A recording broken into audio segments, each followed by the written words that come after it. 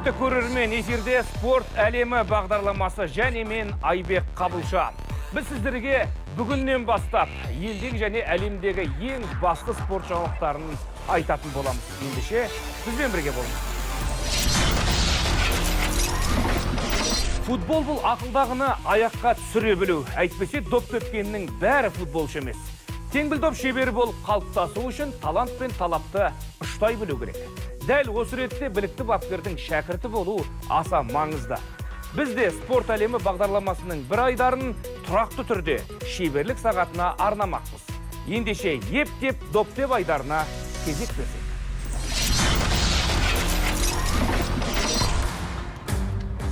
Армысыздар эфирде ептеп доптеп айдары. Ендеше біз бастаймыз.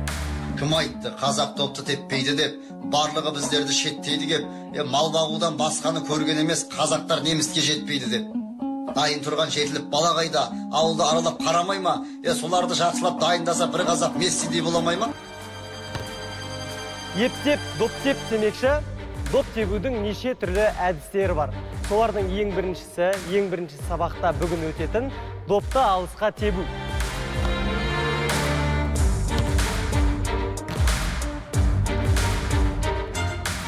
Ал енді допты алысқа тебу үшін ә, доп аяқтың қай жеріне тию керек? Міне дәл осы ә, бау байланған жердің жоғары жағына тию керек. Ә, доптың дәл астыңғы жағынан орта тұсынан астыңғы астыға қарай. Яғни біз допты тепкен кезде ол міне былайынан айланып өткен сияқты болу керек. Сол кезде доптың астына аяқ тиген кезде ол жоғары қарай көтеріледі. Және қатты біз соққыны қосқан кезде ол барынша алысқа ұшады. Дәл осы қағидамен біз қазір допты тебетін боламыз. Қараңыздар.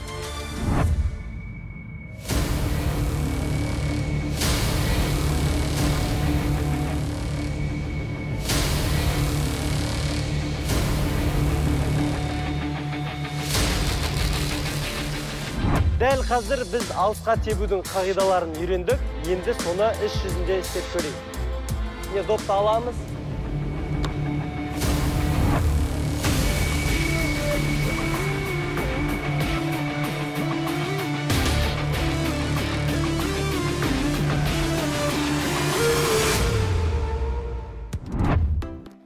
Бұл допты алысқа тебу үш түрлі жағдайда бізге ауадай қажет ең бірінші жағдай ол біздің командалас шабуылшымыз алыстан ашылған кезде біз оған ауамен допты жеткізіп беруіміз керек Хорош.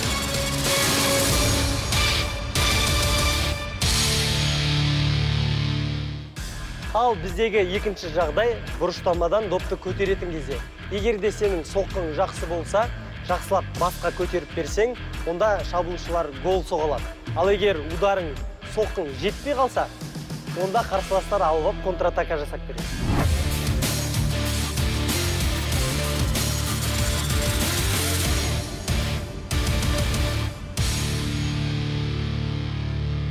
Ал үшінші жағдай. Қақпашылармен байланысты. Көбінесе ойын кезінде қақпашылар ойын азартына кіріп кетіп өзінің қақпасын жоғалтып алады. Яғни алдыға шығып кетеді. Тура сол кезде біз соны пайдаланып алыстан голды салып жібереміз.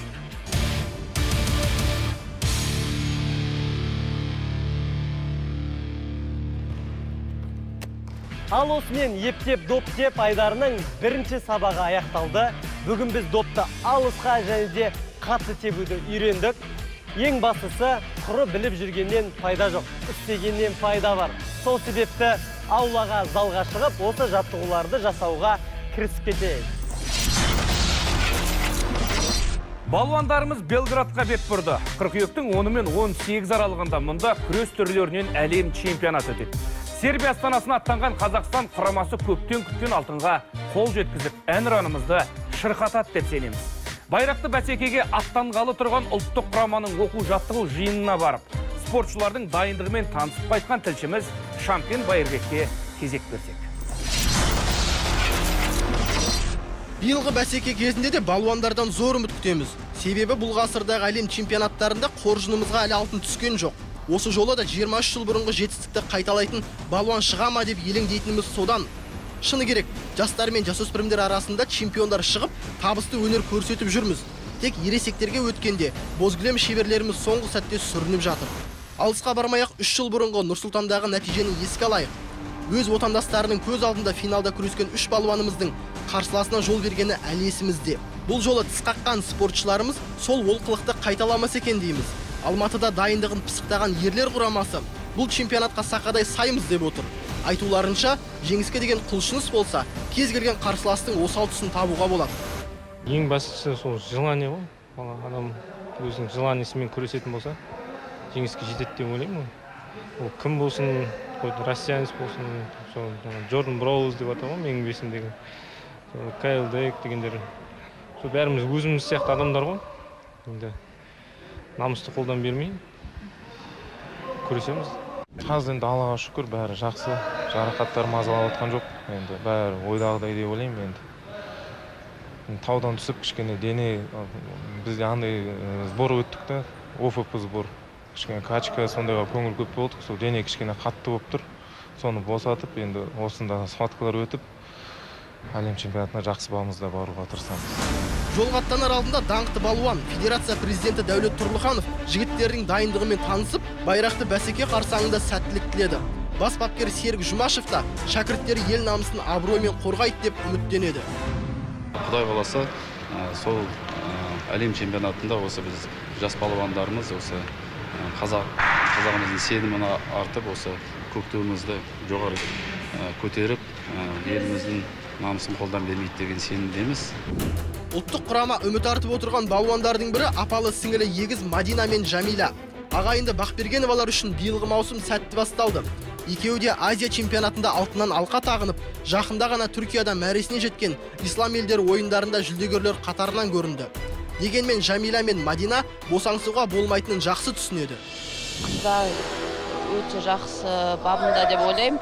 Әлем чемпионатында жақсы нәтиже көрсетеміз деп айта аламын өз салмағымдағы қарсыластарым ол біріншісі америкалық балуан бар одан нигериялық бар одан қырғыз қырғыз балуандар бар. Қырғыз бен япония жапон қыздарымен күрескенмін. Азия чемпионатында енді қалған анау америкалық нигериялық молдавалық қыздармен балуан қыздармен әлі шықпадық. Сол соларды жаймен ағайлармен зерттеп әдіс тәсілдерін көріп жатырмыз 13 я борюсь. 14 қыркүйекте әпкем Мадина екеуміз өнер көрсетеміз. Техникалық және психологиялық дайындығымызды пысықтап болдық. Негізгі қарсыласым түрік және жапон балуаны болмақ. Халықаралық күрес федерациясы рейтингте жоғары тұрған балуандарды екі топқа бөлек түсіреді. Мен бірінші, ал жапон балуаны екінші топта. Өз тобымда моңғол қызымен белдесу қиын болады. Биыл өткен Азия чемпионатында онымен күресіп жеңгенмін. на две барлық оқу жаттығу жиыны ойдағыдай өтті. Спортшылар бабында қалғанын бозгілем көрсетеді. Бастысы балуандарымыздың бағы мен бабы қатар шапсын деп тілейміз. Әлем чемпионатында ел намысын қорғайтын балуандарымыздың қатарында жанкүйерлер назарын ерекше аудартқан спортшыларымыз да жетерлік. Солардың бірі еркін күрес шебері нұрғожа қайпанов пен әйелдер күресінің өкілі марина седнева. Өткен жылы шаңырақ көтерген жас отбасы ерлі зайыпты ретінде алғаш рет халықаралық жарыста бақ сынамақ сондай ақ мәдина мен жәмила сынды егіздеріміз де ел үмітін ақтайды деп сенеміз Ал әйелдер күресіндегі басты үмітіміз Елена Шалыгина екені сөзсіз. Бейжің Олимпиадасының қола медаль иегері, әлем чемпионатының үш дүркін жүлдегері араға 10 жыл салып үлкен спортқа қайта оралған болатын.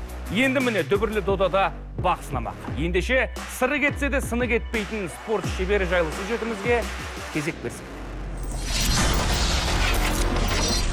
қазір әйелдер құрамасы елордада оқу жаттығу жиынын өткізіп жатыр. Осы тұста біз елена шалыгинадан жанкүйерлердің көкейінде жүрген сауалдарды қойып жауап алуға тырысамыз. Қайырлы күн елена. Араға 10 жыл салып спортқа қайта оралып жатырсыз. Осы осылай шешім қабылдап үлкен спортқа қайта келуіңізге не себеп болды? Здравствуйте. Ну, хотелось бы начать с того, что сәлеметсіздер ме? Әуелі кәсіби спортқа тура 10 жылдан кейін қайта келуімді сәйкестіктер едім. 25 жаста карьерамды аяқтағанда мұны жоспарламағам десе де осы аралықта күресті қайта бастасам ба екен деген ойлар болмады емес болды. Өйткені спортпен ерте қоштастым деп ойлаймын. Бір жағынан отбасы мен балаларым болған соң спортты кейінге қалдыратынмын. Семья дети. Кәсіби спортты кейінге қалдырған еленаның боз кілемге қайта оралуына гюзель манюрованың жетістігі себеп болған. Естеріңізде болса рио олимпиадасында күміс медальға ие болған сәтте гюзель 38 жаста еді. И вот поддержка близких э, манюрова гузель. Жақындарымның қолдауымен гюзель манюрованың жетістігін көріп боз кілемге оралдым. және өзімнің бұл таңдауыма өкінбеймін өзіме шын ұнайтын іспен шұғылданып жатырмын. оның үстіне 10 жыл бұрынғы күрес пен қазіргі күрестің айырмашылығы жер мен көктей. қазір бәрін ой елегінен өткізіп барып істеуге тырысамын. Кезінде істеген қателіктерді қазір қайталамаймын деп айтсам да болады. Уже не допуская тех ошибок. Иә өкініш жоқ қуаныш бар. Себебі шалыгина үлкен спортқа орала сала ел чемпионатында топ жарып ислам елдері ойындарында жеңімпаз атанып үлгерді. Осы ретте еленадан спорттан қол үзген сәтте немен айналысқанын сұраған едік. Елена күрес жанкүйердің бәрін қызықтырған келесі сұрақ. Ә, сіз осы аралықта карьераңызды аяқтаған 10 жылдың ішінде немен айналыстыңыз?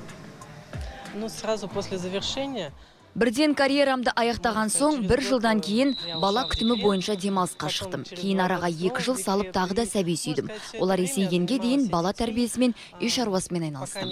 Үш жылдай швецияда кейіннен ресей мен қазақстанда тұрдық. Балалар кішкентай кезде жиі қоныс аударатынбыз. Біраз уақыт мектепте кішкентай балаларды жаттықтырдым. Менің қайта келуіме осы да әсер етті. Өйткені тәжірибемді бөлісе жүріп күреске деген қызығушылығым қайта оянды. Елена шалыгина өзінің шеберлігін осыдан 14 жыл бұрын бейжің олимпиадасында қола жүлдегер атанған сәтте дәлелдеп қойған. Алайда араға 4 жыл салып лондонға басты фавориттердің бірі ретінде барған балуан жүлдесіз қалды. Артынша әлем чемпионатына аттанған оған ол жақта да медаль бұйырмады. После этого сразу как елге оралған соң жанкүйерлер үмітін ақтай алмағаныма қатты қапаландым. содан соң өз бойымда одан әрі жаттығатын және боз кілемге шығатын ерік жігер қалмағандай күйде болдым. дәл сол күннен кейін жаттығуға оралмадым. алайда бұл шешімнің қате болғанын кейін түсіндім. Бүгінде осал қарсылас жоқ. Мұны еленаның өзі де жақсы біледі. Сондықтан да сербиядағы әлем чемпионатында жүлдеге таласудың оңай болмайтынын мойындаған ол әйелдер күресінде қандай өзгерістер барын айтып берді. Например раньше индия мы там не считали мысалы бір кезеңде үндістан секілді құрамаларды қарсылас құрлы көрмейтінбіз. ал қазір бәрі басқаша. 90 пайызының деңгейі шамалас. сондықтан да мына қарсылас осал келесі балуанға күш сақтаймын деген жоқ. алғашқы белдесуден бар өнеріңді паш етпесең жауырынның жерге тигенін байқамай да қаласың. Еленаға бапкерлер де сенім артып отыр. Сербиядағы дүбірлі додада жүлде алады деген екі спортшы болса соның бірі шалыгина екені сөзсіз. Дегенмен басты қарсыластары жайлы да ұмытпауымыз керек дейді бас бапкер қайрат сағадиев. Бұл күрес өте қатты дамып келе жатқандықтан бұл салмақта бірінші қарсыластары жапон қыздары украина қыздары америка қыздары осы салмақта. Ә, жалпы қазіргі мынау ә, шығыс европа дейміз румын қыздары молдаван қыздары да қазір өте қатты жақсы күресіп келе жатыр осы салмақта лидер қыздар бар сол салмақта. Сербия төріне әйелдер алдағы аптаның басында. Грек рим күресі шеберлерінің ізін ала шығады. Осыған дейін әлем чемпионатында бір рет күміс алып екі мәрте үздік үштікті түйіндеген елена шалыгина бастаған бұрымдыларымыз белградтан жүлделі оралады деген сенімдеміз.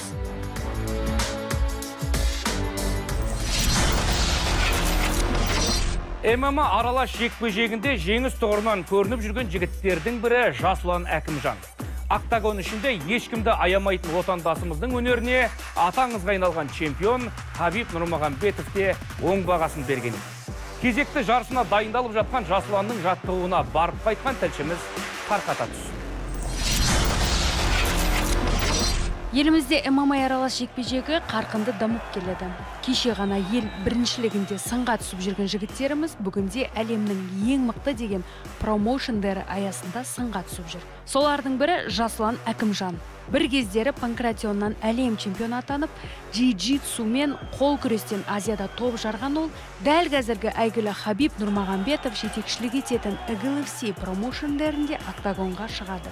Жақында ол осы ұйым арасында елордада өткен ИГЛФ UFC 50 турнирінде өнер көрсетіп, жарқын жеңіске қол жеткізді. Жекпе-жекке дайындық барысында күніне екі мезгіл жаттығу жасайтын Әкімжан бос уақыт табылғанда саябақтарды аралағанды ұнатады. Біз де чемпионмен осындай серуендердің бірінде кезіктік. Білекпен бірдей емес, мұңды шықсам дейтін Жасұлан әңгіме барысында өзінің болашақ жоспарымен бөлісті. алға қойған кәдімгі үлкен биік мақсат қандай сенде UFC-дің чемпионы болсам деген ойдамыз бола алмай қалсаң не істейсің бола алмай қалсақ қанағат етеміз да өкінбеймін ешқандай. Қандай жағдай болмасын өкінбеймін. Өйткені мен өзім мақсатымда жұмыс істеп жатырмын. Сол мақсатқа же- жету үшін қолымнан келген бәрін жасаймын. Спортқа ммаға жол болмағандар келеді дейді да? Жоқ енді әртүрлі адам бар ғой. Адам көп. Ол бүкіл адам мнениесі әртүрлі оған ренжуге де болмайды келісуге де болмайды деп ойлаймын. Иә, қанша адам болса, сонша пікір болады. ММА бір қарағанда жай ғана төбелес болып көрінгенімен, бұл спорттың өзіндік ерекшелігі бар. Чемпионның пікірінше, ММА қазақ баласына тән спорттардың ішіндегі бірегейі. ммаде тек қана техниканы тек қана күшіңді көрсетпейсің бұл жерде бұл жерде бас керек ең бастысы характер керек дух керек қазақтың нағыз қазақтың жігіттеріне сай қасиеттің бүкілі керек бұл спортта мысалы күрестен шыққан бала чемпион болып кетуі ммадан мыңға бір жүзге бір деп айтайық то же самое бокстан тек бокстан айналып жүріп келіп сразу шығып кете алмайды да ешқайсысы Жасұланның сүйікті істерінің бірі атқа міну. Тұлпарын ерттеп, сәйгүлік үстінде жазық даланың ауасымен тыныстайтын ол, осы арқылы барлық шаршағанын ұмытып, рухани күш алатынын жасырмады. Атқа мінген жігіт ешкімге алаңдамайды. Өзімен өзі ойларын толықтырады деуге болады мен өзім солай істеймін. Аттың үстінде ойымды жинақтап өзімше бір үлкен жігерге жігер пайда болады денемде сол себепте барлықтарыңызды атқа мінуге шақырамын. Қазақ жігіті аттың үстінде нағыз жігіт болады деп ойлаймын. Жекпе-жек шебері Жасұлан Әкімжан жайлы әзірге айтарымыз осы. Арманы асқақ қазақ баласына октагонда ешкімнен жеңілмей, сәйгүлігі сүрінбей, аңсаған арманына жетсін деп тілейміз. Карате Олимпиада ойындарының бағдарламасына қосылғаннан кейін спорттың бұл түріне деген қызығушылық артқан. Токио төрінде жерлесіміз Дархан Асаділев пен Мария Берульцева қос қоланы қоржынымызға салып мерейімізді тасытқан еді. Төрт жылдықтың басты бәсекесін қалт жібермей қадағалағандардың бірі Мақсат Сқақов. Бала кезден татамиде тер төгіп жүрген Мақсаттың басты мақсаты да сол. Олимпиада ойындарында топ жару. Жақында ғана ересектер жарысына ауысқан ол жастар арасында біраз белестерді бағындырып үлгерді. Үкілі үміттің жетегінде тынымсыз жаттығып жүрген спортшы жайында тілшімізді тыңдасақ.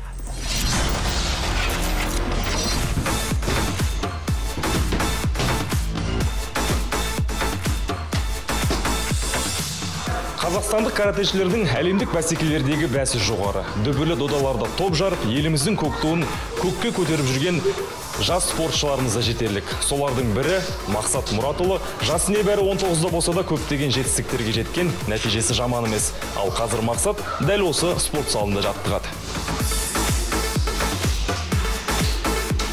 Жылдамдық, төзімділік, дәлдік секілді каратэшіге қажетті басты қасиеттер мақсаттың бойында бар. Талантты спортшы тынбай жаттығу жасайды, шапшаң болу үшін жүгіреді, соққысы дәл шығу үшін түрлі тәсілдерді қолданады. алғаш рет сегіз жасымда достарым мені ә, осы мектеп бізге енді салынды сол кезде каратэ үйірмесі ашылды содан кейін достарым айтып қатысайық деп сосын біз ә, спорт залға келіп иә қатысып мені бірінші а- алғашқыдасынан мен бірінші тренерім. Күтіп алды. Ә, және біз жаттығуды бастадық. Жаттығу бастап маған мен қызықтым өте қатты қызықтым. Ә, содан кейін сай дайындалып қазір қазір кезде уже 12 жыл қатысып келемін. Сол 12 жылдың ішінде қазір қазақстан республикасы спорт шебері азия чемпионы болдым. Және әлем кубогында екінші орын алдым. Және қазақстан чемпионатында бірінші орын иегері болдым. Бұл мақсаттың азия чемпионатында жеңіске жеткен сәті. Дәл осы күннен бастап ол каратэші ретінде көпке танылды. Ұлының жетістігімен құттықтап қоңырау шалған ата анамның қуаныштан жылап тұрғанын байқағанымда ерекше толқып кеттім дейді жас чемпион. Азия чемпион болғанда көзге жас келді. Былай сене алмадым әнұран айтқанда өзіме сене алмадым түсім ба өнім ба деп сол кезде анама звондадым. Азия чемпионы болдым деп қуанды секіріпті қуанып содан кейін атама звондадым атам маған батам берді осы әлем азия чемпионы болып алланың қалауымен осы азия чемпионы болдым бапкері мақсаттың еңбекқорлығына тәнті әрбір жетістіктің артында тынымсыз жаттығу мен шүмектеп төгілген тер жатыр бастысы шәкірті еңбегін ақтады ұстазы оның бұдан да биік белестерді бағындырарына сенеді мақсат туралы айта кететін болсақ мақсат 8 жасынан бастап осы кюкушинкай үйірмесіне келді 2012 жылы. 12 13 14 15 жасында э, қатты результаттар болған жоқ. Э, үшінші орын жарыстарда алып отыр соған қарамастан э, жаттығуды тоқтатпады. 16 17 18 18 жасында міне жақсы дәрежелерге жете бастады. Ең бірінші қазақстан чемпионатында бірінші орын алды. Сосын кейін ә, 2022 жылы осы біздің елімізде өткен азия чемпионатында бірінші орын алды. 18 жас жоғары 75 салмақта. Және де осы жазда біз ә, болгария еліне бардық. Варна қаласында әлем кубогында екінші орын алды. Мақсат өз өзіне сенімді сабырлы бала және өз айтқан сөздерін орындайды. Мақсаттың ең сүйікті әдісі қандай? Мен де бір жеңілістің ащы дәмін татып көрейін. Маған өзің көрсетіп көр. Қазір алғашқы жылдары біз екі қолға төтей барамыз содан кейін ішке аяққа енді осыны шындап көрсетші. Ой бәрекелді. Адамды аямайды екенсің мақсат. Қарсыласты аяуға болмайды. Мақсаттың арманды айқын ол әлемде әлемге көк туымызды желбірету. Барлық спортшының арманы осы деп білеміз.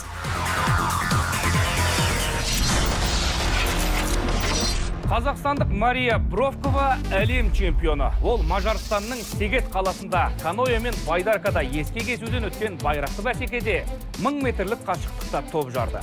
Дәл осы тарихи жетістікке қол жеткізген талантты қыз кеше елге оралды. Әлем чемпионын әуежайдан күтіп алуға біз де бардық. Мой первый чемпионат мира. Бұл менің карьерамдағы алғашқы әлем чемпионаты. Осындай ірі жарысқа қатысып қана қоймай, жүлдегерлер қатарына қосылғаныма таң қалып, қатты қуанып тұрмын. 1000 метрге жарыста негізгі қарсыласы мажарстандық спортшы болатын. Жарыс барысында бір-бірімізді алысқа жібермеуге тырыстық. Дайындығы мықты екен, ал 500 метрде қытайлық және мажарстандық ескек есушіге есе жібердім. айта кетейік мария бравкова бұл спорт түріндегі тарихи жетістікке қол жеткізді иә осыған дейін жастарымыз бен жасөспірімдеріміз табысты өнер көрсетіп түрлі медальге ие болып келген. Ал мария қыздар арасында чемпион атанған тұңғыш отандасымыз. Бұған қарамастан құрама бапкерлері нәтижені талдап бұдан жоғары мақсатты көздейміз деп отыр. Результат получился. Біз ойлағандай жоғары нәтиже болғанымен кей тұста барымызды көрсете алмай да жаттық. Әлі жұмыс істеуіміз керек барлық көрсеткішті талдап резервтегі спортшыларды тартамыз. Спортшылар 2019 жылдан бастап әлем чемпионатына қатыспаған еді. Келесі жылы биыл қол жеткізе алмаған нәтижеге жетеміз деген ойдамын. Алға қойған мақсат анық ол әлем және азия чемпионатында жақсы өнер көрсетіп париж олимпиадасына жолдама алу жарыстан елге оралған мария әуелі ат басын елордаға бұрды. Спортшыны және бапкерлерді жанкүйерлер мен достары әуежайдан зор құрметпен күтіп алды. Мұнда ол өз дайындығын пысықтайтын олимпиада даярлығы орталығындағы құрбы құрдастарымен кездесті. Осыдан кейін туған қаласы оралға аттанды. Спортшының бапкері әрі анасы елена бравкова қызым париж төрінде ел намысын қорғайтынына сенемін дейді.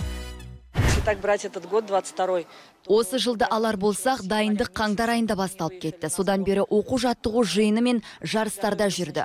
Осы аралықта ол Оралға екі ақ рет мектепке және жоғарғы оқу орнына емтихан тапсыру үшін ғана келді. Қазірден Париж олимпиадасына жолдама алу үшін барымызды салып жатырмыз. Оған дейін Азия чемпионатында сәтті өнер көрсетуге барымызды саламыз. Марияның әр жетістігі үнемі есімде. Бұл жолы Сегет қаласында да өте қобалжыдым. Аяқ қолым дірілдеп, өз өзімді әрең ұстадым. Мария бұл бәсекеде ел намысын абыроймен қорғағаныма қуаныштымын дейді. Бұл жетістіктен шабыт алған жас спортшы алда бұдан биік белестерді бағындыруға тырыспақ. Осымен спорт әлемі бағдарламасының бүгінгі алғашқы шығарылымы тәмам. Енді біз сіздерге әр сенбі сайын хабар арнасында әлемдік және еліміздегі басты спорт тақырыптарын таныстыратын боламыз. Ендеше келесі аптада жүздескенше аман сау болыңыздар. Thank you.